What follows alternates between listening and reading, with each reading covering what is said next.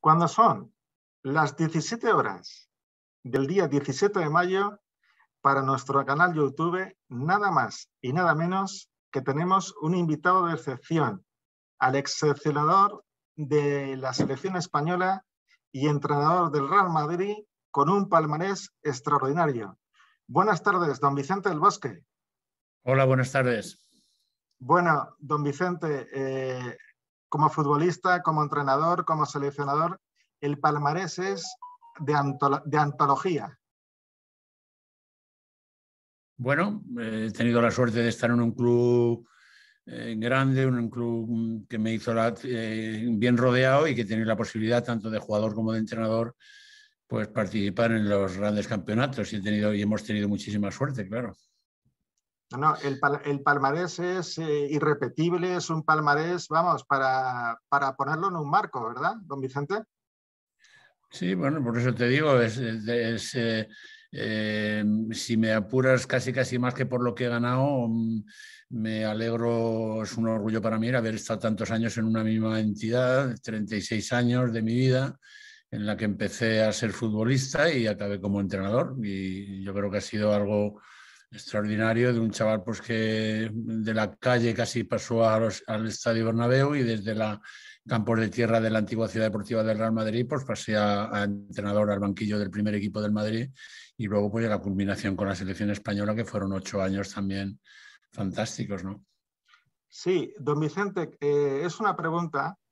Eh, ¿Qué tiene el Bernabéu que para las grandes remontadas que hacía el Real Madrid usted como como muy buen conocedor de, la Casa Blanca y del Real Madrid, ¿qué, tiene el Bernabéu que, atraía unas goleadas tremendas del equipo blanco? Bueno, cuando se producían algunas remontadas es porque antes lo habíamos hecho mal. Se, conoce que el primer partido, en el partido de ida, habíamos, pues se quedaron en el camino. Bueno, y luego el Real Madrid conquista la séptima Copa de Europa, si no me equivoco, con Jupp Heynckes, y ya eh, la, octava Copa de Europa en, París, en Saint-Denis, ¿no? Sí, claro, fueron los años de, empezar como entrenador profesional, que yo prácticamente pues tenía marcado mi destino en el fútbol aficionado, en en la base, quería ser entrenador formativo y tuve la suerte pues, de llegar al primer equipo del Madrid y con tan buena fortuna de que el primer año llegué en noviembre del 99 y en junio aproximadamente, mayo, junio del, del 2000, pues fuimos campeones de Europa. En fin, teníamos una buena plantilla.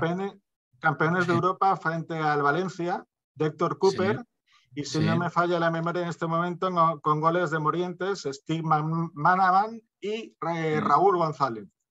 Sí, sí, exacto, sí, sí. Eh, en teoría el favorito o el que venía de hacer mejor campaña durante todo el año había sido el Valencia y, mm, bueno, llegamos muy bien a ese momento de la temporada y también seguramente pues la, eh, ese a, lo que, que arrastra el Real Madrid en las grandes competiciones, la competición europea, pues seguramente nos ayudó para poder ser campeones de Europa. Y luego ya como colofón eh, a su trayectoria futbolística de entrenador, ya eh, el salto a la absoluta, a la selección nacional, a la selección de todos los españoles.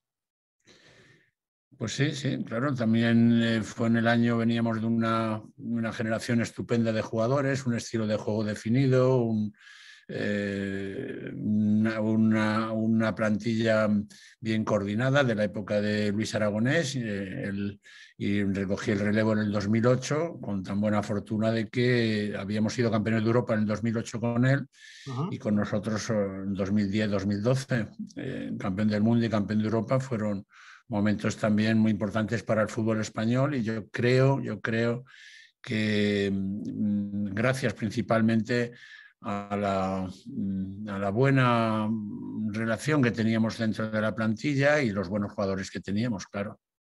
Sí, y además, don Vicente, eh, por encima de las individualidades en el fútbol, el bloque y el equipo y la unidad era excepcional, ¿no? Bueno, si quieres acercarte a los éxitos, naturalmente creo mucho, creo mucho en las buenas relaciones personales y en ese sentido yo creo que veníamos de una, en una etapa de una buena convivencia, de un ambiente y un clima laboral sano y eso al final es muy importante, parece mucho más importante de lo que a lo mejor algunos piensan. Pues sí, porque eh, tanto en el Real Madrid, eh, con jugadores, por ejemplo, como Roberto Carlos, eh, Raúl, Michel Salgado, Aitor Caranca, Fernando Morientes, en la selección española nos encontramos bueno, a Xavi, a Fernando Torres, a Sergio Ramos, a David Villa. bueno, en los dos equipos es una auténtica constelación de estrellas en el cielo, ¿no? Sí, sí, es verdad. Bueno, eh, hombre, también es verdad que en la selección española pues, se dieron algunas circunstancias que eran buenas para nosotros. Eh, hubo una época que, por ejemplo, la, fortaleza del Liverpool con cinco jugadores del Liverpool, eso repercutió favorablemente a, la selección. Otros años el Real Madrid era el equipo que aportaba más jugadores. Otra época fue el Barcelona. En fin, eh, otra época fue el Valencia y, eso se repercutió naturalmente en beneficio de la selección española y en que pudiéramos acercarnos al éxito, sí. Don Vicente, eh, cuéntenos algo, lo que más eh, le gratificó del Mundial de, 2010 en Sudáfrica. El sueño de miles y millones de españoles debe ser muy bonito desde el punto de vista de un seleccionador hacer felices a toda una nación, a España. Bueno, es, es, es verdad, es verdad lo que dice. Eh, nosotros, bueno, representábamos al fútbol español, teníamos unas obligaciones morales con nuestro país, pero principalmente con el fútbol, porque al final nosotros solo somos futbolistas y, habíamos tenido generaciones anteriores que podían haber sido campeones del mundo o campeones de Europa, pero la, realidad es que no lo fuimos y nos tocó a nosotros y tuvimos también esa pizca de suerte tan necesaria para competir. Y también un dato que se me había olvidado, hablando de las Champions del Real Madrid, en Glasgow frente al Bayer Leverkusen, eh, un partido de infarto, ¿no? Sí, bueno, como todos los partidos, en estas categorías las diferencias son escasas, la, competición tanto en, la en Europa a nivel de cruz como a nivel de selecciones es máxima y ahí normalmente por pues, los resultados son, son cortos eh, y hay que saber también competir en esas circunstancias, cosa que muchas veces eh, habíamos tenido grandes selecciones o grandes clubs y nunca habíamos, se tradujo en el resultado. Qué belleza plástica el gol de Zinedine Zidane.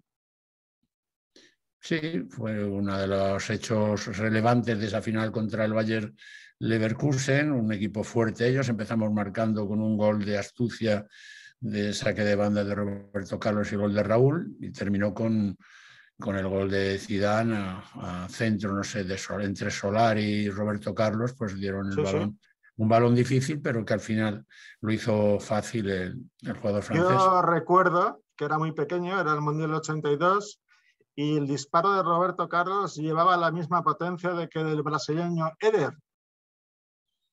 Sí, tenía una virtud. Roberto Carlos era un jugador que a nosotros nos venía muy bien porque ocupaba toda la banda, tanto en defensa como en ataque. No era fácil irse como defensa y, no era, y era muy bueno en ataque y nos dio mucho, mucha vida por el lado izquierdo. Prácticamente jugamos con un jugador más por esa banda. Y luego, en la segunda parte, el guardameta César Sánchez e Iker Casillas, bueno, lo pararon absolutamente todo bajo palos. Sí, sí, es cierto que nosotros venía jugando en una cuestión nada más, una decisión deportiva, cambiamos a Iker por, por César y en fin, al final luego nos salvó César, eh, nos salvó Iker también con paradas estupendas y, bueno, me alegro porque así fueron dos los que participaron y, que muchas veces siempre un portero se queda fuera y en esta ocasión pues tuvimos la suerte que los dos porteros fueron decisivos a la hora de, ganar. Y volviendo al Mundial, bueno, eh, el recorrido hasta llegar a la final muy largo, pero eh, ¿qué sintió el seleccionador español Vicente del Bosque cuando Iniesta marca el gol, balón al fondo de la portería, explosión de júbilo en Sudáfrica, en Johannesburgo, en España, las banderas españolas, bueno, de antología todo lo que estoy describiendo, ¿verdad?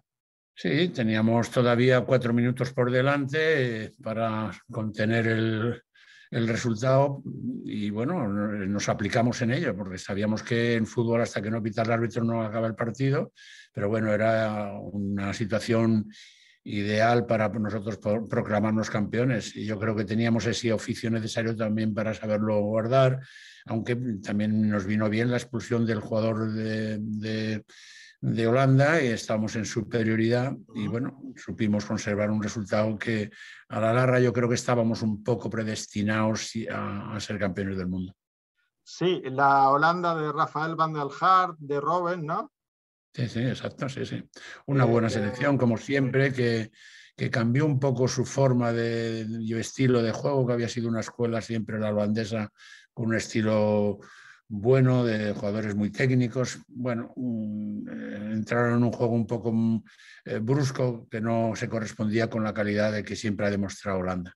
Y luego eh, se llega a la Eurocopa 2012, si no me equivoco, se celebra en Polonia y otro, otro triunfo más para el equipo nacional, para la selección española y para nuestra nación. Seguramente llegáramos en el mejor momento de todo el recorrido de este grupo de jugadores.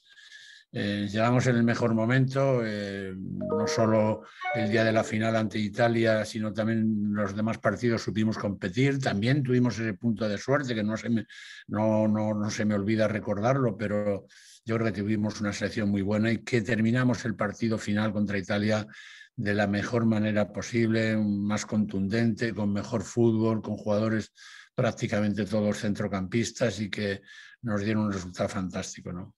Y nunca mejor dicho, 2008, 2010, 2012, la Armada Invencible, la Nacional, la selección española, la selección de todos los españoles.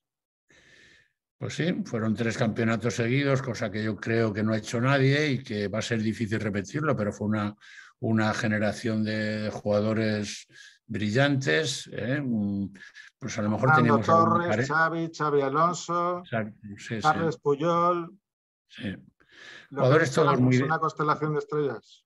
Muy identificados con la selección también y que representaron a nuestro país de la mejor manera posible, en todos los sentidos. Siempre fue una selección con un comportamiento y con una, un talante correcto.